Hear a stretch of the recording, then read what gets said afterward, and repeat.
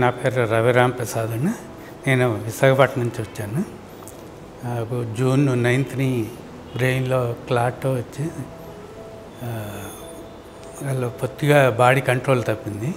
వెంటనే Apollo hospital Kakinada hospital తీసుకొచ్చారు.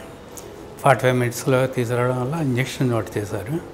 Injection చేయడం వల్ల వెంటనే క్లాట్ కరిగిందని తర్వాత నాకు తెలిసింది.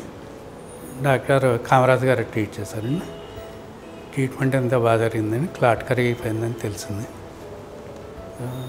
హాస్పిటల్ సర్వీసెస్ కూడా బాగానే ఉన్నాయి.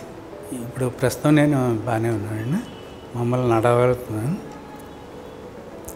అదే ఇవాళ వన్ ఆఫ్టర్ వన్ మంత్ మళ్ళీ చెకప్కి వచ్చాను. మూడో రోజు నడిచి వెళ్ళిపోయాను. ఇక్కడ నుంచి మామూలుగా నేను వైజాగ్ నుంచి వచ్చాను. వైజాగ్ వెళ్ళిపోయాను. మళ్ళీ నిన్న వచ్చానండి. ఇక్కడ చెకప్కి వచ్చాను. Follow up checkup thanks the Apollo hospital.